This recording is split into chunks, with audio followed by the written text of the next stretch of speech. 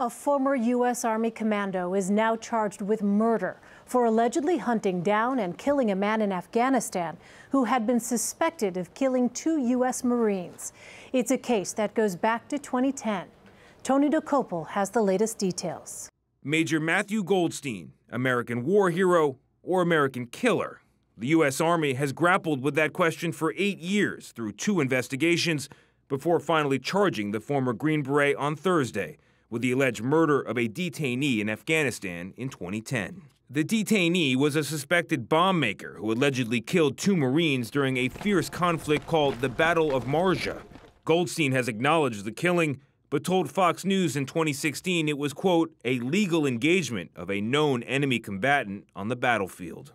On Sunday, President Trump promised to review the case, calling Golsteyn a U.S. military hero who could face the death penalty from our own government after he admitted to killing a terrorist bomb maker. Golsteyn's role in the Battle of Marja initially earned him a Silver Star for valor.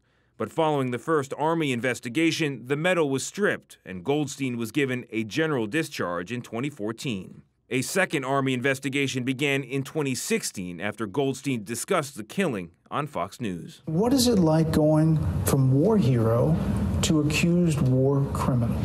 Are you angry? No.